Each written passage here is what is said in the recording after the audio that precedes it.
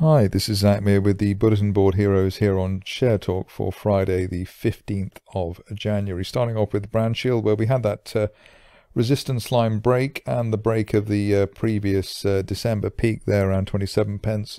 And uh, the view uh, was and is that while we're above uh, that particular mid 20s zone, we should see further upside. best call at the moment is that we could head up towards the top of the December price channel, currently hinting at a target as high as 40 pence, hopefully as soon as the end of this month.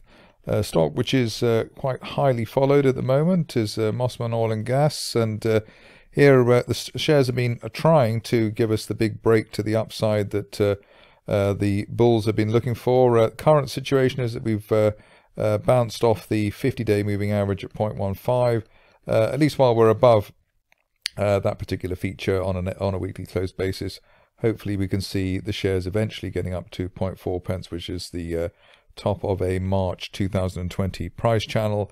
Uh, if you're cautious on the shares, you're waiting for an end of day close through the initial uh, January resistance at 0.22 uh, to give you the momentum trigger for a 0.4 pence target over the following four to six weeks.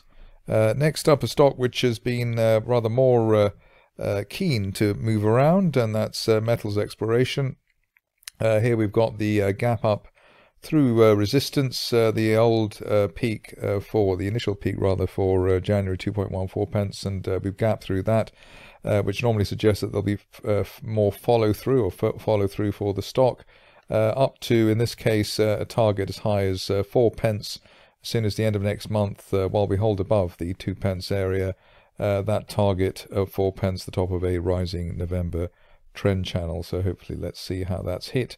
This stage only really back below the floor of the channel and the 50-day moving average at 1.76 pence, really delaying the upside scenario.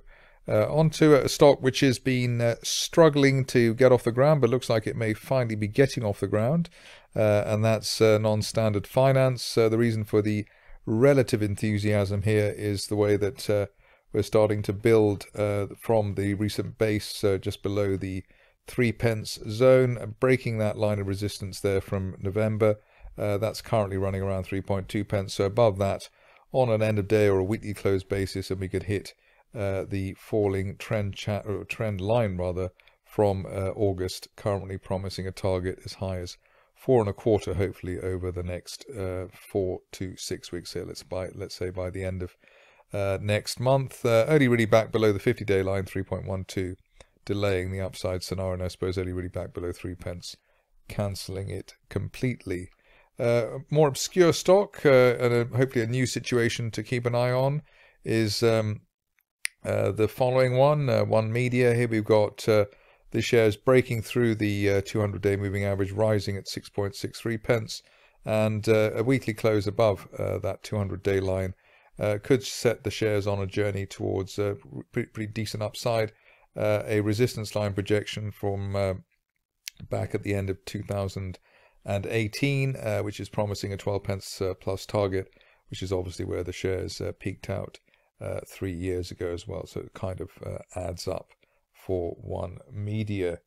onto another stock which has managed to base out over recent weeks after a rather weak looking start, but good to see President Energy now pushing higher. Uh, the key break here was the break of the 200-day moving average at the end of last month and then finding support above it around 1.64, which is also where the, the 50-day uh, line is now.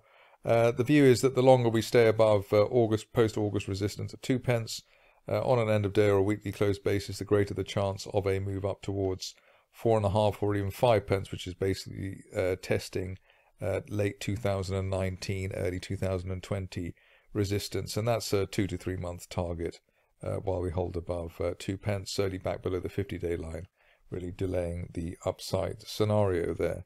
Uh, another less uh, frequent flyer uh, on uh, the runway at the moment comes in the form of um, the stock that I'm going to look at now, Petroneft. here we've got a gap through resistance, which is one of the best signals or the better signals around at the moment. Uh, 0.69 the uh, the initial peak for uh, December and uh, 0.7 for January, so above 0.7 on an end of day close basis, and we're looking hopefully towards the April resistance line projection at 1.2 pence as soon as the end of next month. Uh, good to see uh, Riverfort finally responding to bullish sentiment. The reason, I suppose, a double reason here. One was the introduction of the dividend, which was quite quite chunky, around seven percent, and the second is the way that the company holds over twenty percent of Pires, which is currently shooting higher, um, around I think 14, 15p the last time I looked, and so with the shares having uh, nearly tripled in the last uh, month or so, obviously, uh, as a major stakeholder, River, Riverfort will benefit.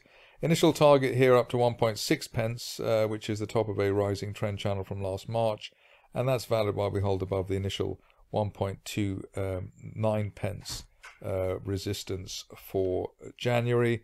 If you're a fan of the stock and looking for further gains, uh, that would be according to um, if we can get through 1.6 then the next uh, level up would be towards 2.2 at that March resistance line projection or 2.3 pence that March resistance line from uh, last year. Uh, stock which is uh, hardly ever out of focus and is will being willed higher uh, most of the time as well is uh, Vast Resources. here we had a rather nasty gap down through support, previous support of 0.15, so uh, trying to regroup after that. A little bit of a bear trap there towards 0.1 pence, and we recover from that re relatively well. So above that uh, June resistance line there at 0.11, chance of recovery towards uh, at least the 200-day moving average there at 0.17. Uh, but uh, at this stage, a little bit early really to call the shares much higher than that, given the uh, rather painful gap down that we had last month. Uh, just uh, three stocks to go now. Another stock which is hopefully in recovery mode and has been requested today, Westminster Group. Uh, here you can see that uh, shares have gone into this um, uh, rising trend, uh, trend channel from the beginning of last month.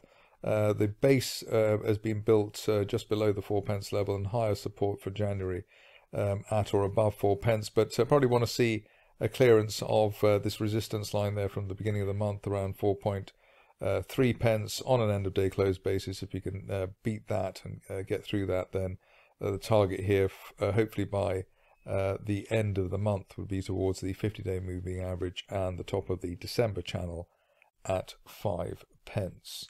Uh, going on to uh, the last stock today, which has been uh, quite a, a, pleasant surprise in terms of the persistence of the rally that we've seen. here we've got Zinnwald Lithium, which is basically in a rising trend channel, which I'm just about to draw now. Uh, top of the channel at the moment looks as though it's heading towards uh, the low 20s, so 21, 22 pence, uh, that channel from the end of October. And uh, while we remain above uh, the initial January resistance at 13 pence, hopefully looking towards 21, 22 pence uh, by the end of next month, and hopefully even as soon as the end of this month. That's it for me today. More updates over the weekend.